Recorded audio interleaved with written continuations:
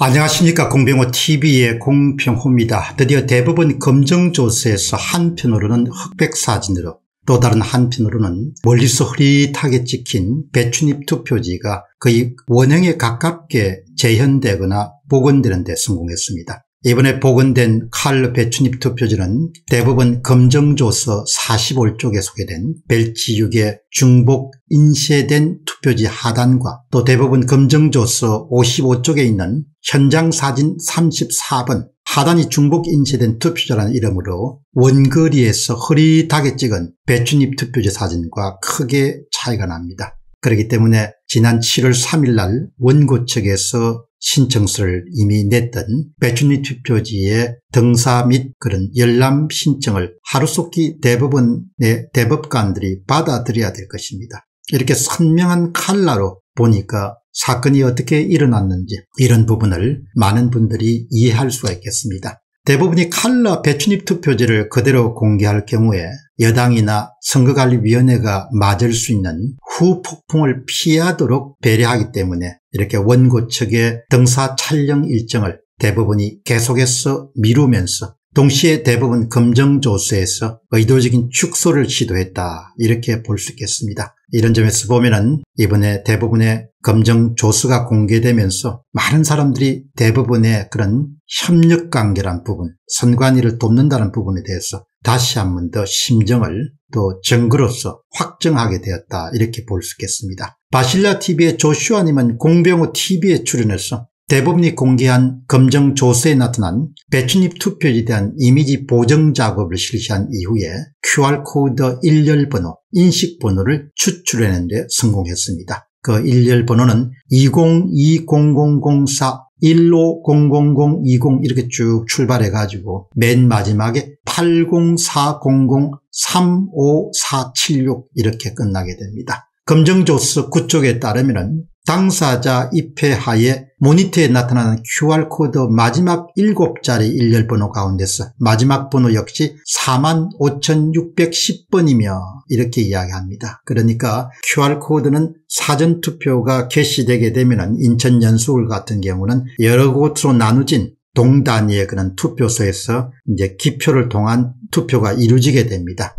이때 1벌 번호부터 출발해 가지고 맨 마지막에 이제 사전투표가 끝날 때가 45,610번입니다. 다시 말하면 인천 연수구월 사전투표지의 총수는 모두 45,601명이자 45,601표입니다. 여기서 QR코드 35,476번은 사전투표자가 맨 처음 투표한 사전투표지를 1번으로 해서 그 다음 투표지를 2번으로 하고 그 다음 3번으로 해서 맨 마지막에 35,476번이 되는 겁니다. 이 35,476번은 인천 연수구월 사전투표지 가운데 77.78%까지 이 투표가 진행된 상태에서 출연하는 것을 뜻하게 됩니다. 35,476번은 사전투표 두째 날인 거의 선거가 마무리되어 가던 토요일 오후 5시 무렵으로 추정됩니다. 선거가 끝나갈 무렵에 나온 이 같은 배춧잎 투표제에 대해서 유튜브 채널 미디어 A자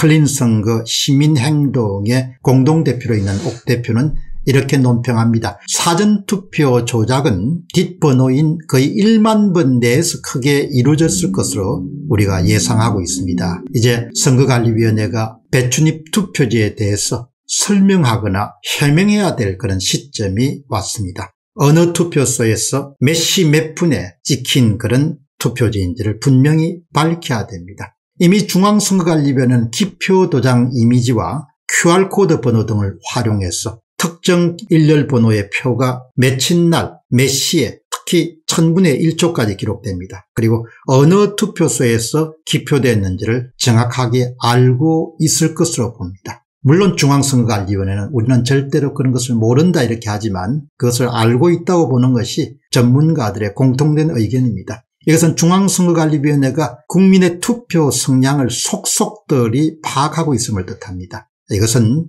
자유민주주의 국가의 선거의 4대 원칙 가운데 하나인 비밀투표를 정면으로 위반하는 그런 범법행위입니다. 이 같은 범법회의가 드러나게 된 것은 2020년도 7월 4일 날 4.15 총선 당시에 충남 공주 부여 청량 지역구의 사전투표 한 장이 바로 경기 시흥시의 한 폐지 야적장에서 발견되어서 상당한 충격을 준 적이 있습니다. 사전투표지는 공명선거감시단이 발견한 것입니다. 당시 사전투표용지의 QR코드에는 투표지 일렬 번호가 5642번이라고 이렇게 담겨 있었습니다. 중앙선거관리위원회는 7월 22일 날 언론에 해명 자료를 내고 투표지가 어디서 발급되었는지를 분명히 알고 있음을 이렇게 시인한 바가 있습니다. 당시 중앙선거관리위원회 발표에 따르면 발급지는 경주였습니다.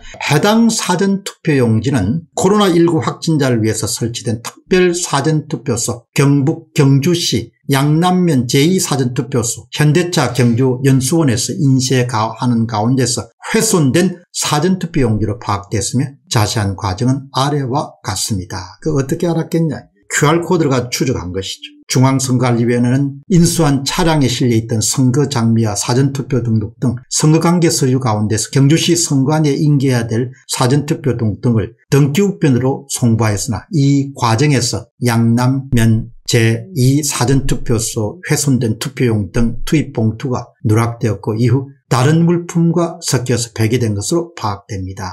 물론 중앙선거관리위원회 해명을 전부 다 받아들일 수 없죠. 늘 거짓말을 하는 조직이니까. 그러나 다만 분명한 것은 중앙선거관리위원회가 QR코드 번호만 알면 어느 선거구에서 몇 시 정도에 이렇게 기표되어서 투입됐다는 걸 알 수 있는 것이죠. 어느 장소에서 몇 시 정도에 투입되는 것을 다르게 이야기하면 그 기표자도 알 수 있다는 겁니다. 결국 언제 어디서 발급되었는지를 중앙선거관리위원회가 금세 파악할 수 있다는 것을 아주 잘 말해주는 것이 바로 이 건입니다. 이제 중앙선거관리위원회 그 휘황찬란한 배춘입 투표지가 어느 투표소에서 언제 발급되었는지를 낱낱이 국민들에게 밝혀야 됩니다. 왜냐하면 그들은 정보를 갖고 있기 때문입니다. 그것이 여의치 않으면 모처에서 위조된 사전투표인지도 밝혀야 될 것입니다. 또한 관리 부실 때문에 이런 일이 발생했다고 변명할 것인지도 밝혀야 될 것입니다. 이렇게 분명하게 배춘입 투표지에 QR코드의 일렬 번호가 알려졌기 때문에 이 일렬 번호를 갖고 중앙선거관리위원회가 분명하게 왜 배춘희 투표지가 어디서부터 출생지가 어딘지라 것을 밝혀야 될 것으로 봅니다. 거의 위조돼서 투입된 것으로 봅니다. 그렇기 때문에 밝히기가 상당히 어려울 것으로 봅니다. 공병호 TV의 공병호였습니다. 감사합니다.